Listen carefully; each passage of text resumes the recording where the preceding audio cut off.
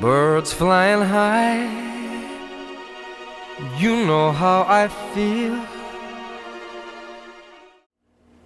Hey, we're back on the uh, doorway arch project here. I'm going to film this on my wife's new camera, Sony high definition camera. I don't remember what model number is on it.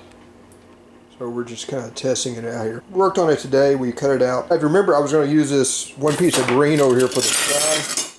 You know, I thought it looked kind of stormy, kind of neat colors.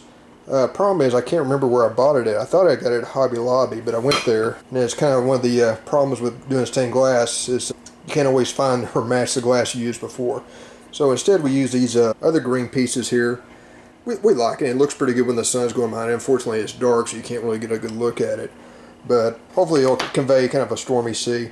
The second decision we had to make is you'll notice that when you do stained glass, it has kind of the lines and the grooves running we generally try to get them keep going the same direction, but uh, kind of an upward motion so they have the same general appearance. On the, this one, we run it side to side. I was thinking about doing it downward so it would look like it was raining. After looking at it, we decided to go sideways on it here, and uh, hopefully that, that'll still turn out pretty nice. Remember I said we're going to use a uh, uh, kind of a golden brown for the uh, lighthouse light here, kind of have it, you know, cut through the storm.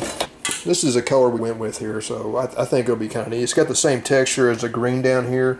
I think it'll make a kind of a neat contrast once the sun starts going through it. And for the rocks down here, we're going to use this brown once we get it. We've used it before, and we like how the sun looks when it goes through it.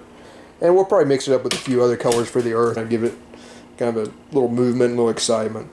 But anyway, we've got it started here, and we're pretty excited with it. So uh, we'll keep you updated.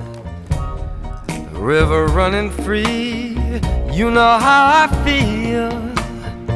Blossom on a tree, you know how I feel.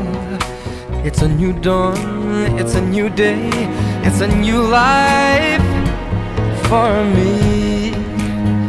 And I'm feeling good.